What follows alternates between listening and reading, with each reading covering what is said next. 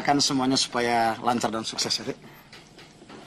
Eh, ini penampilan pertama Soto Batak kita hadir di acara yang besar dan mewah. Amin. Insya Allah, Bang. Eh, tapi Ade tak cemburu lagi sama Salma kan? Cemburu harus tetap ada, Bang. Kalau enggak, kita akan menjadi manusia yang ceroboh dan tidak amanah. Oke lah kalau begitu. Kalau begitu abang berangkat dulu ya. Assalamualaikum. Waalaikumsalam. Masa lu nyerah gitu aja sih, Srul? Apa salahnya lu jatuh cinta sama perempuan lain? Tuh Dinda Salma bukan istri orang. Din, awak tak mau macam-macam lagi di langkah awal ini. Nyaris awak terpeleset kemarin. Nah, yang kau bilang tadi, awak anggap sebagai buah kuldi. Tak ada perintah Allah di situ, kecuali larangan kepada Adam untuk mendekatinya. Paham kau? Lu tukang soto apa tukang buah sih? Udin.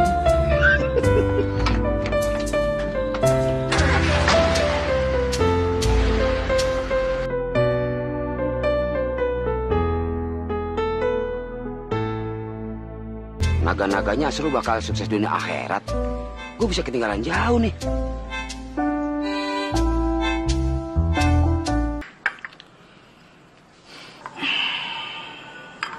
Mau gue omongin sama lu, Jam. Silakan. Calon menantu semangat banget. Kalau gue bisa lari ke orang lain, itu akan lebih baik buat kita. Tapi gue nggak bisa. Udah mati akal. Dan lu tahu, selama ini harapan gue ya cuma lu.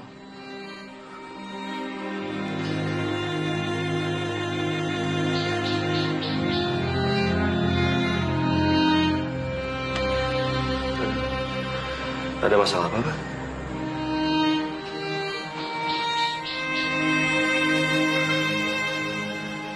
Ini masalahnya orang-orang yang kerja di bekas kebun gue.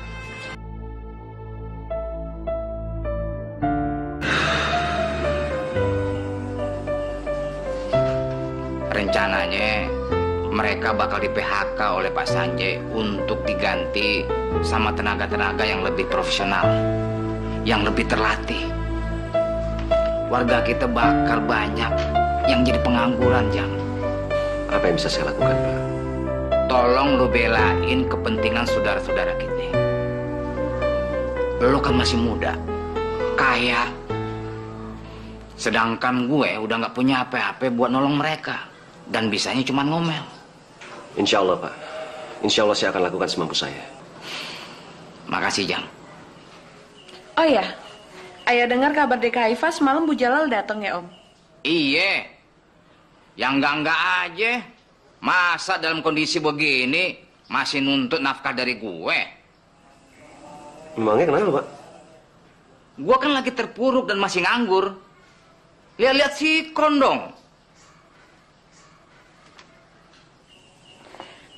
Emang sampai kapan Om Jalal mau kayak gini? Kok lu jadi pada nyerang gue? Bukan nyerang, Pak. Hanya mengingatkan kalau Bapak juga pernah membicarakan hal ini. Udah kebanyakan ngomong. Omongan yang mana? Bahwa dulu Bapak sudah mengamalkan ajaran agama sebagai orang kaya. Nah, sekarang giliran Pak Jalal mengamalkan ajaran agama sebagai orang miskin. Pak Jalal sendiri kan yang bicara seperti itu. Emang betul. Seorang ayah atau suami, walaupun miskin tetap berkewajiban menafkahi keluarganya. Gimana hasil akhirnya yang penting ikhtiar aja dulu. Kurang ikhtiar apa lagi gue sebagai orang miskin? Gue ikhlas, tabah, dan sabar, ay. Itu nggak gampang. Antara sabar berdiam diri dengan sabar penuh keringat ikhtiar ya jelas beda, Om. Jangan terlalu lama menjadi orang yang tidak berguna, Pak Jalal.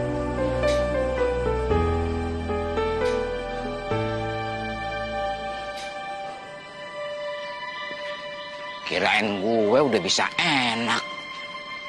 Ternyata nggak ada hari libur buat orang miskin.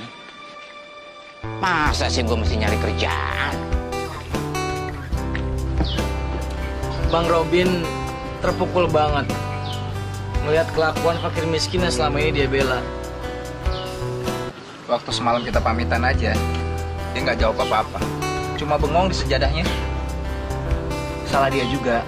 Sedekah pakai harta orang. Harusnya pakai harta sendiri dong. Ah, udah nggak usah dibahas. Terus sekarang rencana om bertiga gimana? Kita tetap mau ngadu nasib. Mau ngadu nasib di mana? Kenapa nggak pada pulang aja sih ke musola? Ih, sorry ya. Masa udah diusir mau balik lagi? Bang Jack udah maafin. Dia sekarang kelihatan sedih banget tuh. Jangan ketipu. Dia tuh bukan sedih, tapi lagi bingung. Karena semua ngerjain sendiri. Ngepel musola, ngurusin taman, ngurusin baitul mal. Sampai beli makanan juga sendiri. Makanya, jangan sekali-sekali ngusir kita. Om sendiri yang pada minta diusir.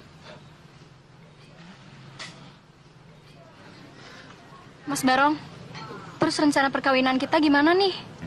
Ya jadi dong. Gimana mau jadi? Lu aja masih luntang-lantung begini. Nah, tuh. Eh, lu jangan ikut campur, Juk.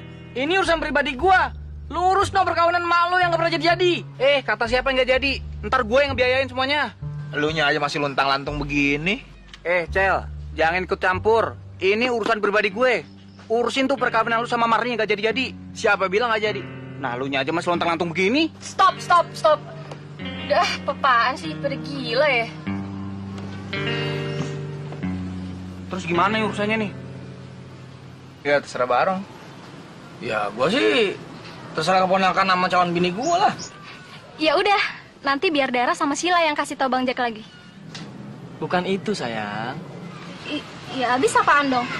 Jadi begini, kita bertiga ini kehabisan duit. Ah, nggak usah ngomong. Gue udah ngira. Ya mau dimaafin lah Sil. Dari dulu kan om lu kan memang paling suka ngerepotin. eh, ini duit buat lu juga, Kribo. Berapa? Satu juta. Insya Allah cukup tuh, insya Allah. Tapi Dara bisanya cuma seratus ribu. Tapi Sheila juga cuma ada seratus ribu. Ya udah deh, nggak apa-apa. Makasih ya, saya terima ya. Iya harus terima. Kalau nggak sih namanya nggak tahu diri. Terus, Dara mesti ngomong apa nih sama Papa? Papa tuh selalu pengen tahu perkembangan hidup Mas Barong sejauh ini. Dara nggak mau bohong sama Papa.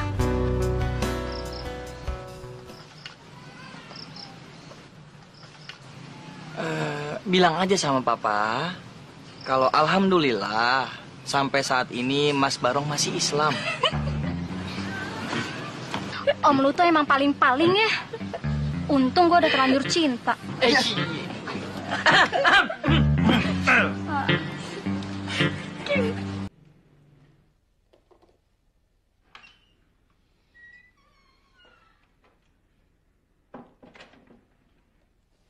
Gimana rasanya, mah?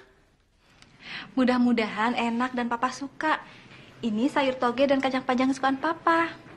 Maksud papa pakai cadarnya. Asik aja. Soalnya semalam ngelihat Ibu Jalal dan Kalila pakai cadar, kayaknya keren banget sih. Boleh ya, Pak? Pakai helm aja boleh, apalagi pakai cadar. Yang penting mama nggak mengharamkan apa yang dihalalkan Allah. Wajah perempuan bukan termasuk aurat yang harus selalu ditutupi setiap saat. Mau makan sekarang, Pak?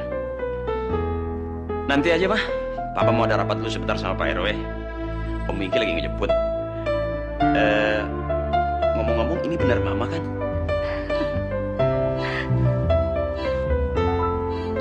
Siapa coba? Kayaknya bukan deh. Ih, kok gitu? Soalnya yang ini lebih muda lima tahun dari yang papa kenal. Ih, Papa jangan gitu dong ngomongnya. Emangnya kenapa? Mama kan jadi pengen dilamar lagi sama Papa. Lebay.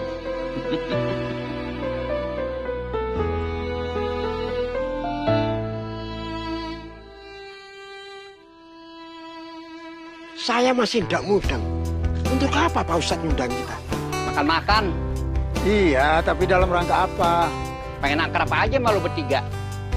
Syukur deh, kebetulan saya belum makan. Kim, kapan kita terakhir kali makan di rumah Pak Ustadz? Lupa Pak.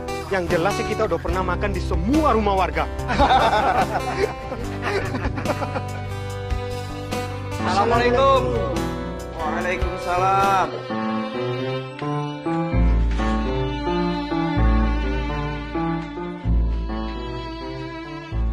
Alah, gaya lo kayak raja minyak. Gimana kabarnya Ustadz? Alhamdulillah baik. Silakan, silakan duduk. Silakan. Ya, ya. Wah, udaranya memang pas. Udah per, langsung aja. Betul sekali itu. Tidak baik menunda hal-hal baik. Oke deh. Pak RW, Iya. apa bener ente minta persenan kepada pekerja kebun supaya nggak di PHK sama Pak Sanjay?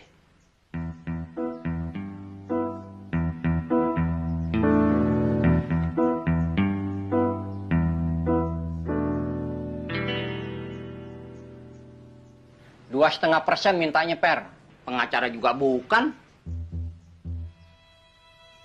Rupanya dia yang ngadu. Kalau ngurus KTP jangan dikasih stempel. Pak RW gimana sih? Orang susah jangan ditambahin susah dong. Nganu Mas PI. Mas Ferry, menurut hemat kami, itulah konsekuensi yang harus dibayar oleh manusia-manusia yang tidak kompetitif dan kompeten di era persaingan global. Nah, golongan seperti ini akan selalu gagal dalam proses seleksi alam. Kecuali yang berani membayar. Terus, lu ngatain gue bodoh?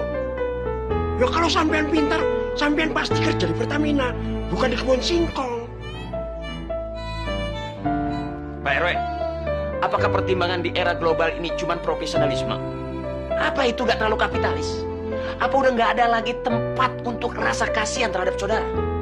Tempatnya sih selalu ada, tapi agak sempit.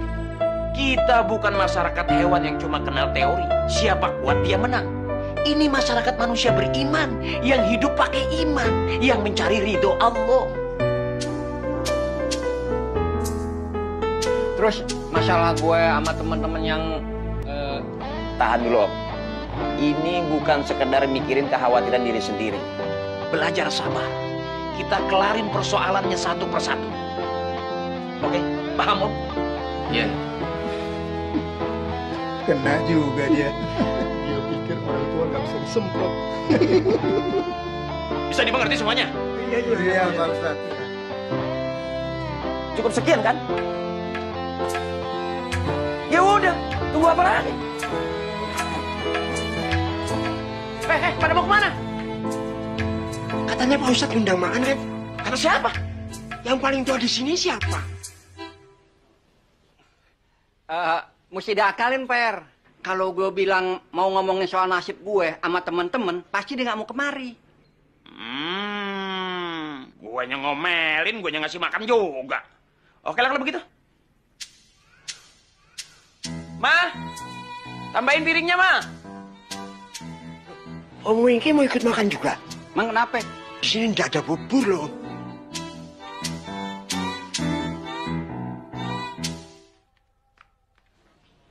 Kalau begini terus setiap hari, nggak setahun lu udah balik modal berlipat-lipat, Mir. Amin. Warung laku, catering jalan, anak-anak pada sehat. Alhamdulillah. Mudah-mudahan Bang Udin juga begitu. Amin.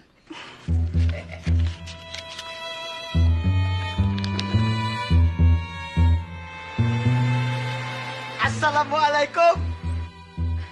Waalaikumsalam. Waalaikumsalam.